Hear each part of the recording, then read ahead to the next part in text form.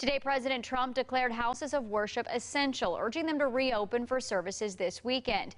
Ohio never closed its houses of worship, but many say they will not reopen until it's safer. 2 News reporter Adam Reif is live in the newsroom to explain how churches here are navigating the coronavirus.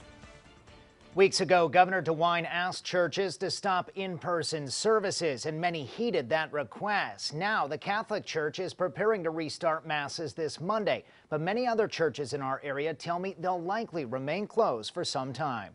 I cannot open the building with the numbers that we're still seeing. Many of the churches that are still navigating the coronavirus pandemic have not made a decision on when to reopen. We want to be respectful citizens. We also want to be responsible with um, you know the people especially the most vulnerable out there tracy wright says the majority of the discover point church members want to come back but others are still cautious there's concern obviously there are some families that have the high risk situations um, and they're way more cautious. The president's call to reopen houses of worship this weekend brought more questions about how to keep people apart. But there is a way to social distance like you are here in places of worship. Crossroads Church has been active online while its Miami Valley locations remain closed. In a statement, Crossroads said, quote, our buildings will remain closed until we are certain that opening them will be healthy for our people both spiritually and physically. The Catholic Church is planning to reopen soon. The Archdiocese of Cincinnati says public masses will begin Monday. The faithful will be encouraged to wear masks. The number of people in the church may be regulated and there will be no physical contact. But many churches are still waiting to see proof the tide has turned. What I'm waiting to see is the numbers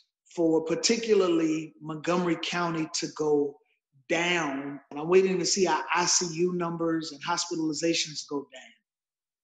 Now, Tracy Wright tells me it's been a challenge helping members navigate this pandemic as so many people have been affected in some way. Some are small business owners who are losing their livelihoods. Many are people who are unemployed, and still more have contracted the virus themselves. In the newsroom, Adam Rive, 2 News, working for you.